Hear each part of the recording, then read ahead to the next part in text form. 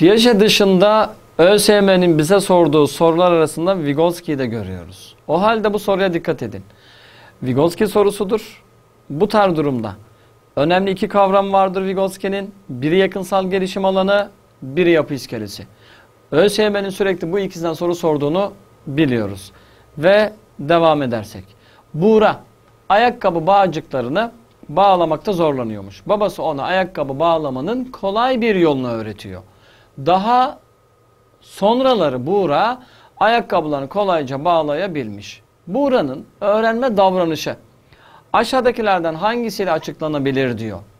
Biz bu soruda Buğra'nın destek alarak ayakkabı bağcığını bağladığını biliyoruz. Şimdi bakın gençler şunu bir kere unutmayın. Destek tam mı? Soruda tam. Buğra hiç kendi başına kalmış mı? Hayır. O zaman ben bu durumda nereye gitmeliyim? Yakınsal gelişim alanı. Yani yakın gelişim alanı. Yakın gelişim alanı dediğim şey ne? Akran ve uzman desteği. O halde burada ne var? Babasından destek alıyor. Tam destek mi? O zaman yakın gelişim alanı. Soruya dikkat edin. Edimsel koşullanma A öncülünde var. Neden gitmiyorum? Ödül veya ceza. Davranıştan hemen sonra verilmesi gerekiyordu. Var mı ödül ceza? Hayır. Özümleme demiyorum. Özümleme var olana uyum sağlamadır. Burada öyle bir durum yok. Dengeleme demiyorum. Nedeni burada bir dengesizlik yaşanmamıştır. Ki dengeleme süreci işin içine girsin. Uyum sağlama, yeni bir şamayı öğrenmesi ve ona denge sağlaması gerekiyor dememiş. Artı bu soruda destek alması gerektiğinden bahsetmiş bana ve cevabımız yakın gelişim alanı. Unutmuyoruz. Yakın gelişim alanında sorular bana asla detaylı verilmez. Yardım aldı, öğrendi, bitti. Tamam mıyız gençler? Çünkü burada önemli ipucu bu. Nereden yakalıyoruz? Destek tam mı, yarım mı?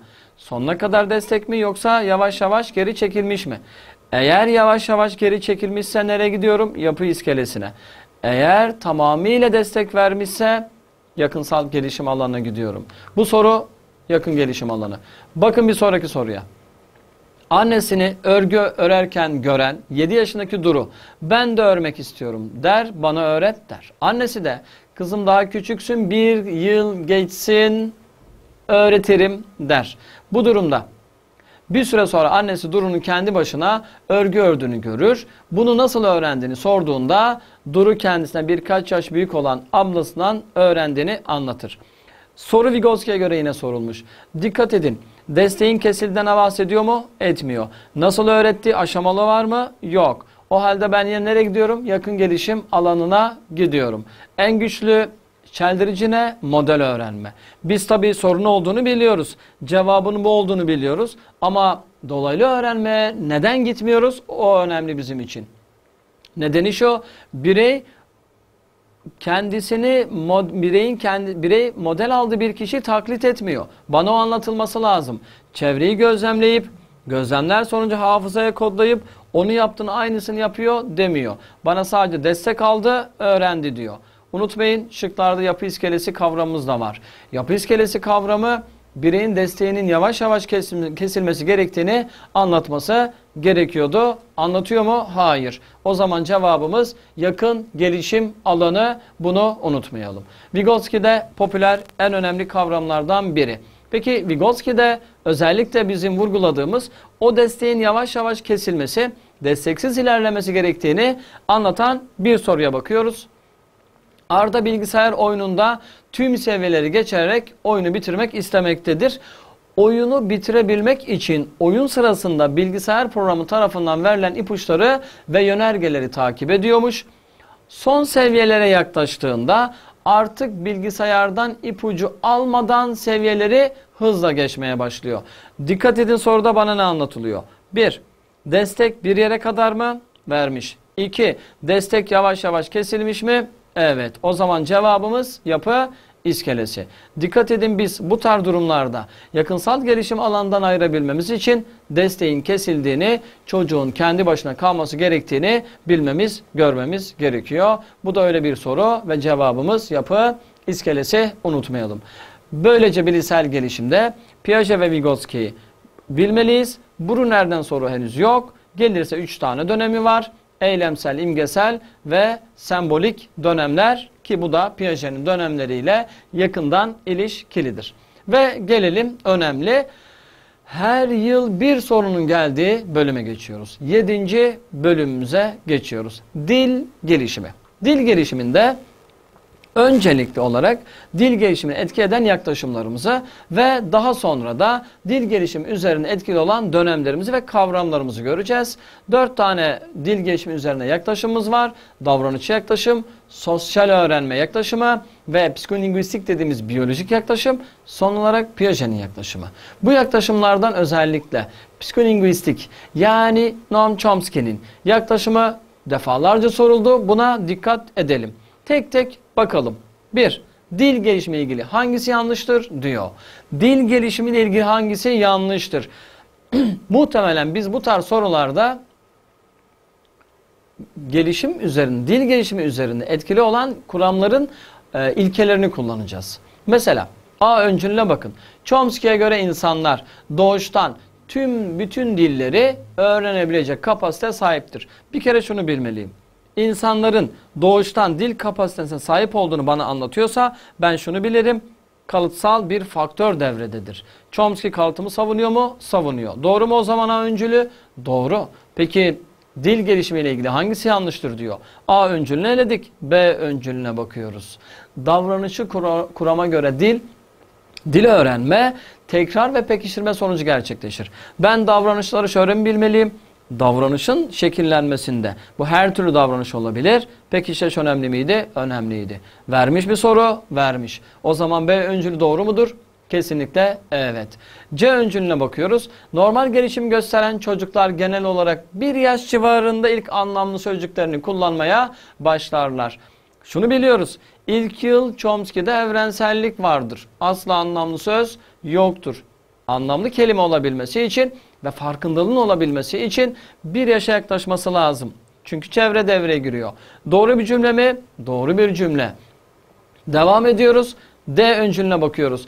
Çocukların tek bir kelimeyi farklı anlamlar içeren cümlelerin yerine kullanmasına morgem denir. Müthiş bir cümle. Nedeni şu. Morgemi her zaman nasıl biliyordunuz? Tek kelimeyle cümle kurmak. Var mı? Var. Son öncüle bakıyoruz bebeğin babıldama evresinde çıkardığı sesler ana diline özgüdür diyor. Peki ben şunu biliyorum. Doğum bebeklik döneminde daha doğrusu ilk yıl babıldama evresi 3-6 ay aralığına denk gelir. 3-6 ay aralığında çocukların çıkardığı sesler anlamsızdır. Zaten hangi öncüle çelişiyor unutmayın. C öncülüyle çelişiyor. Neden? Bir yaş civarı anlamlı kelime varsa 3 altıda olabilir mi? Mümkün değil. O zaman E öncülündeki sesler ana diline özgü değildir. Evrensellik söz konusudur. Evrenselliğin olduğu yerde unutmayın biz asla ana diline özgü ses çıkaramaz cümlesini kurmalıyız. Bu yüzden E öncülümüz yanlış mıdır? Kesinlikle yanlıştır. Unutmayalım. Chomsky ile ilgili gelen bir soruya daha bakıyoruz. Hangisi Chomsky'ye göre yanlış bir ifadedir diyor. A öncülüne baktığımızda 6 aylık dursun farklı ülkedeki akranlarıyla benzer sesleri çıkarabilir. Demek ki biz Chomsky'de şunu bilmeliyiz. İlk yıl evrenseldir. O zaman 6 aylık benzer sesler çıkarabilir. Doğru mu? Doğru. Hangi ülkeden getirirseniz getirin bütün çocuklar benzer sesler çıkarırlar. B öncülüne bakıyoruz. 18 aylık Fadime'nin anne gel demesi. Bir kere şunu bilmeliyiz. 18 aylık olan Fadime'nin dil gelişim dönemi nedir? Telgrafik evredir. Telgrafik evrede ek bağlaç var mı? Asla yok. İki kelimelik cümle var. Anne gel diyor. Doğru mu? Doğru. Bana neyi soruyor? Hangisi yanlıştır? B öncülü doğru mu? Evet. C öncülüne bakıyoruz. Hatice'nin 3 aylıkken baba ya da dada gibi sesler çıkarması. Bütün bebeklerde var mı? Kesinlikle var. 3 aylık mı? Evet. Bubbledom evresi mi? Tam da onu gösteriyor bize. O zaman doğru bir ifadedir diyoruz. Ve sondan önceki öncüle bakıyoruz. 5 yaşındaki Temel'in Karadeniz şivesiyle konuşması diyor. Peki Temel'in çevreden etkilendiğini biliyor muyuz? Biliyoruz. O zaman Chomsky kalıtımla birlikte çevreyi savunan bir kişi mi? Kesinlikle evet. O zaman doğru mu? Tabii ki doğru. E öncülüne bakıyoruz. 5 aylık İdris karnı acıktığında mama diyor. Kaç aylıkmış? 5. Hangi dönem? Bubble'dama. Ne dedik? Evrenseldir dedik. Peki nasıl da nasıl olur da mama diyor? Mümkün değildir. Demek ki 5 aylık İdris mama diyorsa muhtemelen yürüyordur da. Mümkün değil. O zaman mama dememesi lazım. Yürüyememesi lazım. O halde Chomsky bunları kabul eden biri değil. Çocuğun mama diyebilmesi için bir yaş civarına gelmesi lazım. Dikkat edin tüm sınav sorularına bütün baktığımızda birbirlere ne kadar ilişkili olduğunu görüyorsunuz. Bu yüzden cevabımız E öncülüdür unutmayalım. Ve yine Chomsky. Bakın Chomsky diyoruz başka bir şey demiyoruz. Nedeni popüler bir kişidir. Yaşıyor mu halen? Maalesef yaşıyor. Bakıyoruz Chomsky'ye hangisi uygun değildir diyor. A öncülüne bakın. Çocuklar anne babalarının çıkardığı sesleri taklit ederek dili öğrenir. Ben buradan şunu anlarım. Taklit ve model alma kimin? Kesinlikle sosyal öğrenme kuramının. Bandura ne diyor? Onu diyor. Peki Chomsky'nin sorusu mu? Evet. Hangisi değildir diyor? Tabii ki bu değildir. Çünkü ben Chomsky'nin asla taklit ve modeli savunmadığını bilirim. Bu yüzden Chomsky ne kadar çevreci olsa da bunu savunmuyordur. Bu yüzden bizler çevreyi taklit ve model alırsak karşımıza Chomsky'yi değil kimi görürüz? Unutmayın Bandura'yı görürüz. Diğer öncüllere bak tamamen Chomsky'nin ilkeleridir. Mesela insanlar doğarken dil edinme mekanizmasıyla dünyaya gelir. Doğru mu? Doğru. Dil öğrenmenin temelinde olgunlaşma vardır. Her zaman kalıtımı savunuyor. Çocuklar doğuştan tüm dilleri konuşabilecek kapasite sahiptir diyor. Kesinlikle hak veriyoruz. Bütün insanlar konuşabilecek yetiye sahiptir. Çevre bunu şekillendirir. Bu yüzden burada Chomsky'nin unutmayın A öncülünün Chomsky'ye ait olmadığını tekrar söyleyerek bir dahaki soruya geçmeden önce çok önemli dört tane dönemimiz var. Ekranda görüyorsunuz. Agulama ilk yıl tek sözcük 1-1,5 yaş arası, telgrafik 1,5-2 yaş arası, ilk gramer 2-6 yaş arası. Ve ondan sonra zaten insanlar dillerini daha etkin kullanabilecek döneme geliyorlar. Bu tarz dönemleri sorular üzerinde unutmayın net bir şekilde görebilirsiniz. Mesela soruya dikkat edin. 11 aylık bir kızı olan Ahmet Bey'e iş arkadaşı Can Bey kızın neler yapıyor konuşmaya başladı mı diye soru sorar. Bunun üzerine Ahmet Bey henüz kelimeleri tam olarak söylemiyor ancak denilen her şeyi çok iyi anlıyor. Ben bu kişinin bir yaş civarına geldiği için kelimeleri artık anlamlı mıdır? Kesinlikle anlamlıdır. Peki anlamlı da net olarak konuşabiliyor muymuş? Hayır. Fakat söylenenleri anlıyor muymuş? Evet. O zaman dil gelişiminde çok önemli iki kavramdan bahsedeceğiz. Alıcı dil ve ifade edici dil. Alıcı dil çocukların çevredeki sesleri anlayabilmesi. Anlıyor mu? Kazanmış mıdır? Evet cevabımız zaten o. Peki ifade edici dil şıklarda verilmemiş. Verilseydi daha net olurdu. Nedir ifade edici dil? Çocukların konuşmaları. Net bir şekilde cümle kurması. Kendini ifade etmesi. Bahsetmiş mi? Hayır. Dikkat edin şıklarda yeni bir kavrammış gibi görünüyor. Fonolojik farkındalık. Fono ne demek? Ses.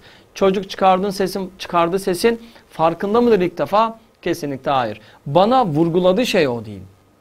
Çocuk çıkardığı sesin farkında olabilir. Fakat bana vurguladığı şey o değil. Bana vurguladığı şey çocuğun çevredeki şeyleri anlayabilmesidir. Ve unutmayın burada cevabımız Edirne unutmayalım. Bir sonraki soruya bakalım.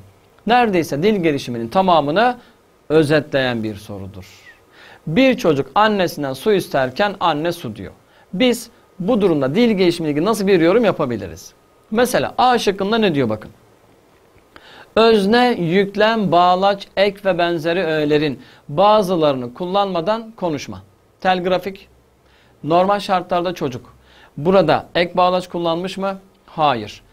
O halde burada ne özne var, ne yüklem var, ne bağlaç var. Unutmayın sadece ne var? Anne, su diyor. Yani çocuk öznesinde, yükleminde kullanıyor fakat ek kullanmıyor. Bu A şıkkında özellikle ona bakmalıyız. Demek ki cevabımız neymiş? Telgrafik konuşmaymış. Neden? Anne su. Peki diğer öncülere bakalım ve çürütelim. Kuralları ilişkili olan ve olmayan bütün durumlara uygulama eğilimi, aşırı kurallaştırma. Var mıdır? Kesinlikle yoktur. Aşırı kurallaştırmada öğrenilen bir ekin her yerde kullanılmasıdır. Bahsetmemiş, eledik. Kuralları yalnızca öğrenecek örneklerle sınırlı tutmak diyor. Eksi kurallaştırma. Sadece öğrendiği örneklerle mi ilişkilendirmiş? Hayır. Cevabımız yanlış. O halde C öncülümüz yanlış. Eksi kurallaştırmada eki sadece öğrendiği yerde kullanır. Diğer yerlerde kullanamaması olması gerekiyordu. O yüzden eledik. Ve D öncülüne bakıyoruz. Yeni sözcük üretebilmek için istekli olma eğilimi. Var mıdır öyle bir şey? Hayır. Bana anlatılmış mı? Hayır. Ne diyor sadece? Anne su diyor. O zaman çocukların alıcı dillerinin dışarıda konuşulanları anlaması şeklinde bana tanım yapması gerekiyordu. Fakat öyle bir şey yok. Ve son öncüle bakıyoruz. Duyu organlarıyla alınan bilgiyi nesnelerin zihinsel tasarımlarına dönüştürme. Normalde çocuklar bir yaşından sonra bunu yaparlar. Fakat bu çocukta artık iki kelime kullanmış. Ek bağlaç yok. Bana vurgulanan nokta o. Bu yüzden E öncülünü de eledik. Ne ile ilişkilidir diyor? Telgrafik konuşmayla ilişkilidir. Önemli bir soru mu? Güzel bir soru. Devam ediyoruz ve dil gelişiminde dikkat edin. Belli başlı şeyler çıkıyor. Dönemler, Chomsky, davranışçılar, sosyal kuramı ve bazı konuşma türlerimiz. Ona da bakıyoruz. Soruya dikkat edin. Hasan odasında diz çöküp ne yapıyormuş? Arabalarından birini sağ, diğerini de sol eline alarak yarıştırıyormuş.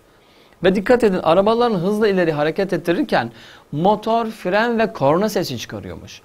E biz şunu mu anlarız o zaman? Eğer bir çocuk ya oynadığı bir oyununa ağzıyla eşlik ediyorsa amacı kimseyle iletişim kurmak değilse nereye gidiyoruz? Monoloğa gidiyoruz. Var mı orada? Kesinlikle var.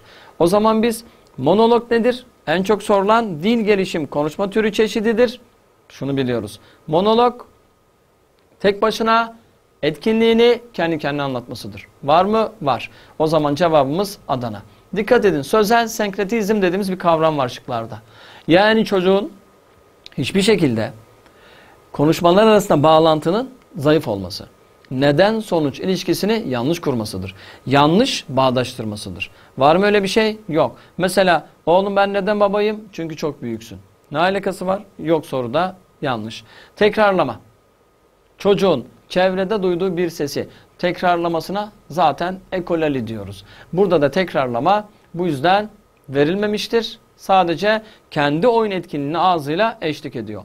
İçsel konuşma. Kişinin problem çözmeye yönelik davranışlarını sese dökmesi veya sessizce kendi içinden bunu tasarlaması gerekiyordu. Sese dökmesi derken mırıldanma, dudak oynama şeklinde tasarlıyoruz. Bu yüzden içsel konuşma verilmemiştir. Toplumsallaşmış dil. Karşıdakiyle diyaloğa geçecek. Konuşacak ve iletişime geçecek. O yüzden öyle bir durumda yok. Tek başına konuşma bizi nereye götürüyor? Monoloğa götürüyor. Ve gelelim diğer bir konuşma çeşidine 2010'da geldi. Önemli bir sorudur. İpucuya dikkat edin. Bizler aşağı yukarı bazı konuşma türlerini verdik. Peki bu soruda ne diyor?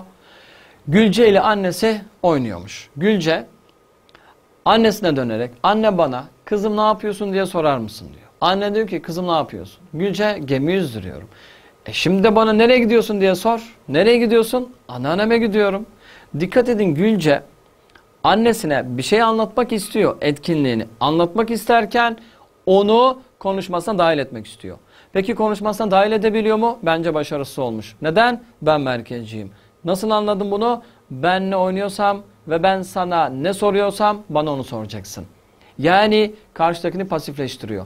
Burada ben merkezci konuşan bir kişinin muhtemelen düşüncesi de ben merkezcidir. Ben ne biliyorsam bana ondan soracaksın. Bilmediğim şeyden sorma. Ben sana soruyorsam bana onu sor. Konuşmayı ben yönlendiririm. İstediğin gibi konuşmazsan müdahale ederim. Tamamen bu bizim için ben merkezci dil. Dikkat ediyorsanız çok yabancı kavram yok. Aslında yabancı kavramların olmaması bizim için daha kolay. Neden? İçsel konuşma, telgrafik konuşma, yansıtıcı ve toplum monolog kavramlarının aşağı yukarı ne olduğunu şöyle kısaca özetleyebiliriz. Telgrafik konuşma neydi önceki sorudan hatırlayın. İki kelimelik sadece ek bağlaç olmadan cümle kurmak. İçsel konuşma neydi? Problem çözme aşamasında sessizce içinden yaptığı edimler. Peki yansıtıcı konuşma nedir? Yansıtıcı konuşma kişinin bir diyalogtan sadece kendi konuşmasını çekip karşıya aktarması yönüydü. Yani birey duygu ve düşüncelerini karşıya dil aracılığıyla aktarabilir. Toplu monolog en az iki monoloğun birlikte icra edilmesi. Yani iki çocuk aynı anda konuşur, birbirlerini dinlemezler. Tamam mıyız? Önemli, güzel bir soru. Hadi bakalım sonraki soruya. İlk öğretim birinci sınıf öğrencisi. Ulaş'ın mahallesindeki berberi berberci olarak adlandırması. Bakın önceki soruda ne dedik? Eğer bir kişi öğrendi bir eki her yere genelliyorsa kesinlikle aşırı kurallaştırma demiştik. Var mı bu soruda? Evet var. Berberci demek birçok yerde kullanmıştır. Benzer bir durumda. Anne benim iki kulaklarım var. Bir, kulak zaten ikidir. Ler ekini burada hatalı kullandık. Bu yüzden aşırı kurallaştırmada genelleme vardır. Bu aşırı genelleme hataya sürükler. Bu o tarz bir soru. Benzer soru gelir mi? Yine gelir. En çok sorulan kavramlar arasında yer alıyor aşırı kurallaştırma. Peki ve geldik önemli. Nereye? Kişilik gelişimine. Neden önemli? Çünkü en çok sorunun geldi. Ve hatta insan davranışları üzerinde etkili olan Freud ve Erikson'un ne kadar önemli açıklamaların olduğunu bizim bilmemiz lazım. Freud'dan bir, Erikson'dan bazen bir, bazen iki soru gelmektedir. 8. bölümdür. İlk sorumuza geçmeden önce. Freud totalde 1. Topografik kuram.